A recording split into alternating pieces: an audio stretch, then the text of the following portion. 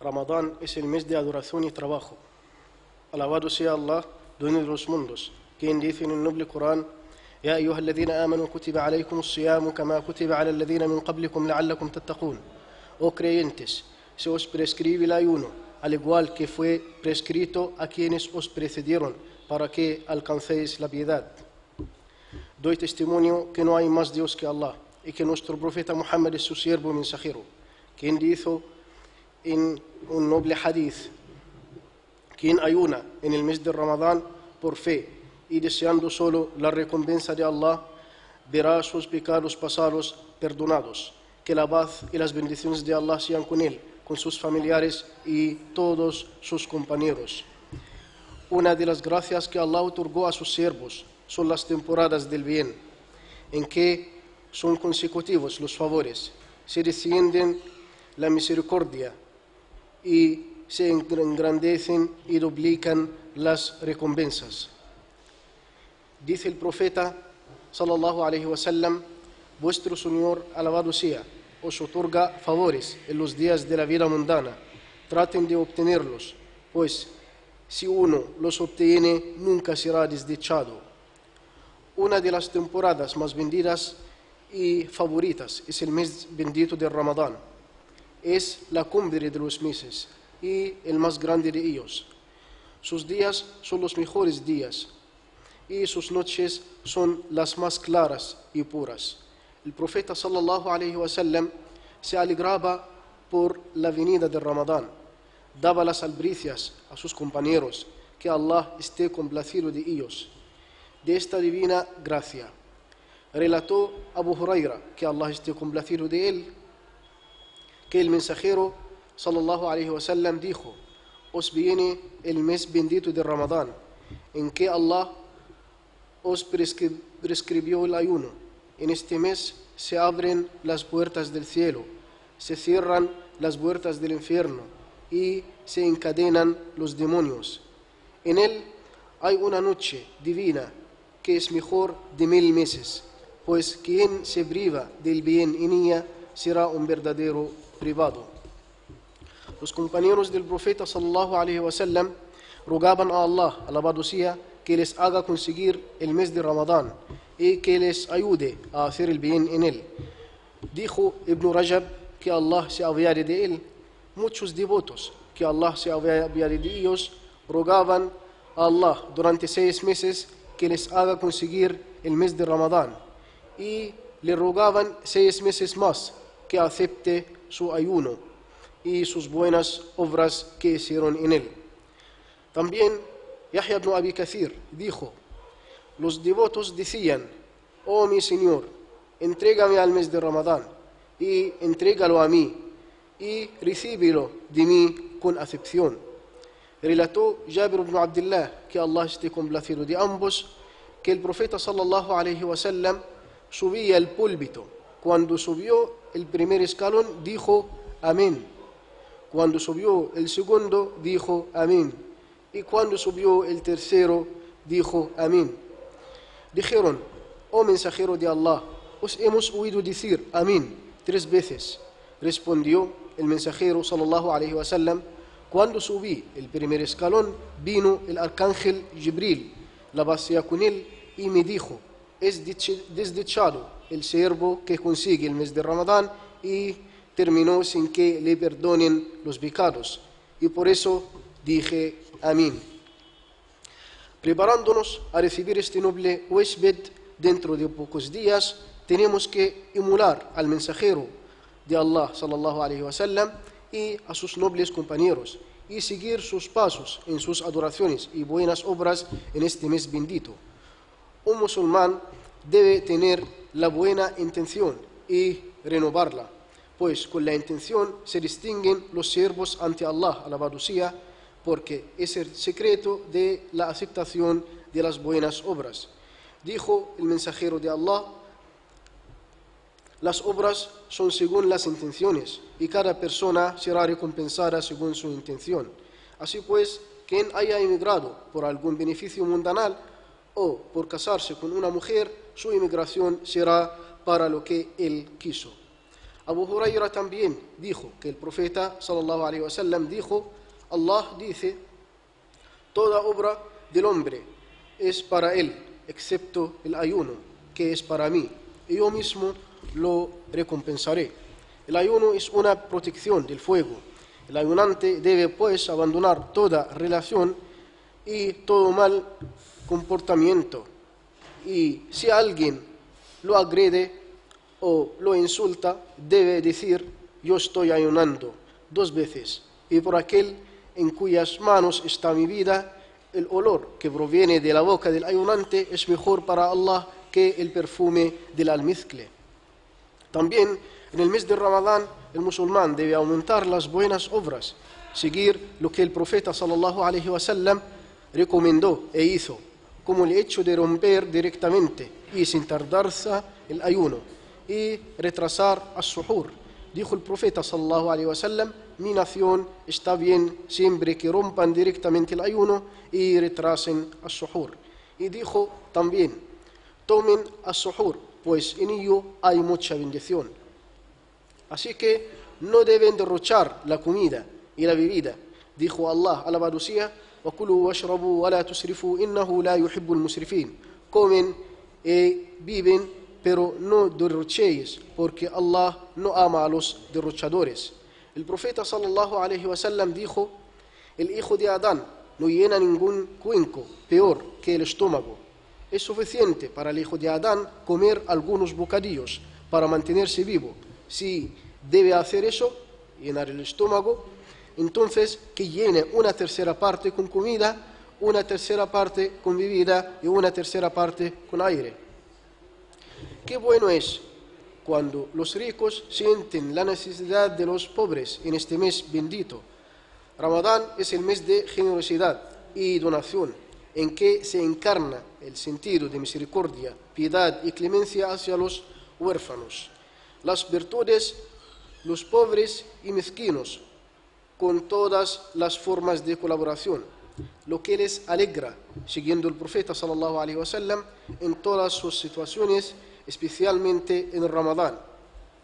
Ibn Abbas relató que el mensajero de Allah, la paz y las bendiciones de Allah sean con él, era la persona más generosa y que solía llegar al máximo de su generosidad en el mes de Ramadán.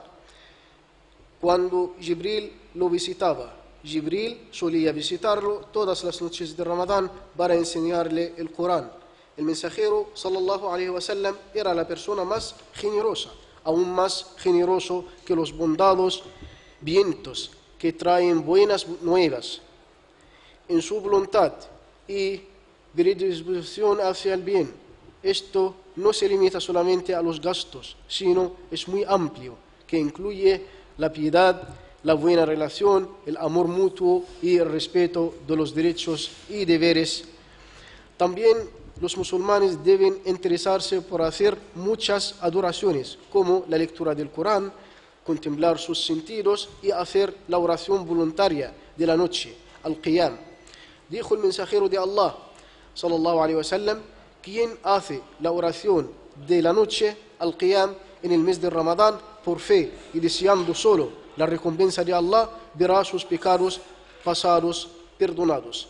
Y dijo también, quien hace la oración de la noche, al-Qiyam, en la noche de Al-Qadr, por fe y deseando solo la recompensa de Allah, verá sus pecados pasados perdonados.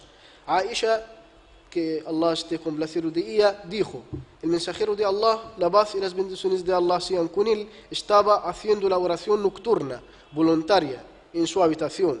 La pared de la habitación era bastante baja y la gente veía el cuerpo del profeta sallallahu alaihi wasallam, así que algunos lo siguieron en su oración. A la mañana siguiente lo comentaron. A la noche siguiente el profeta sallallahu alaihi wasallam se levantó para su oración nocturna y la gente siguió su oración.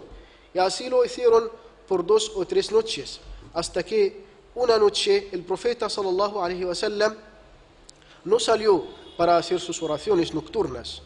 A la mañana siguiente la gente le comentó sobre ello. Él dijo, yo temí que la, oración nocturna se os haga obligatoria. Omar ibn al-Khattab, que Allah esté complacido de él, decidió durante su califato unir a todos sus musulmanes para que recen tras un solo imán. Relató Abdurrahman ibn Abdul Qari, salí con Omar ibn al-Khattab, que Allah esté complacido de él, una noche de Ramadán a la mezquita. Encontramos que la gente rezaba en grupos separados. Unos rezaban solos y otros con pequeños grupos. Entonces dijo Omar, si reunimos toda la gente en un solo cuerpo, será mejor.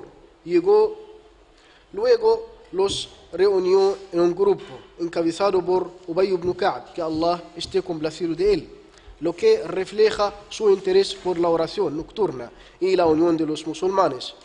Cabe destacar que el ayuno verdadero es abstenerse de todos los pecados y sinos, pues ¿cuántos ayunantes que no consiguen de su ayuno más que el hambre y la sed?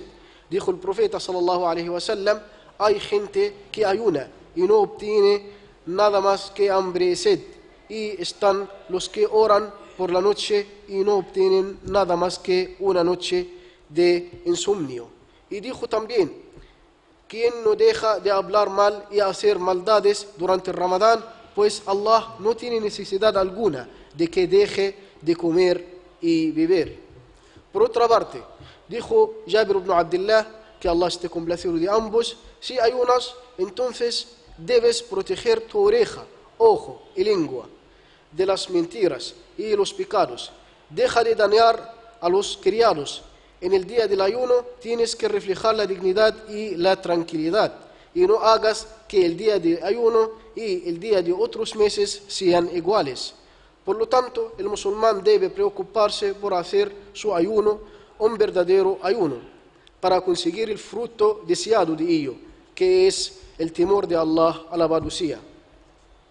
Hay que saber que el mes bendito de Ramadán es el mes de seriedad, esfuerzo y trabajo. Entonces, nuestro esfuerzo y trabajo en Ramadán no deben reducirse en comparación con los otros meses, con el pretexto de que estamos cansados, pues muchas personas tienen pereza y duermen mucho en los días de Ramadán, lo que obstaculiza los intereses de la gente en este noble mes lo que va en contra de los objetivos por los que se prescribió el ayuno, que es el temor de Allah.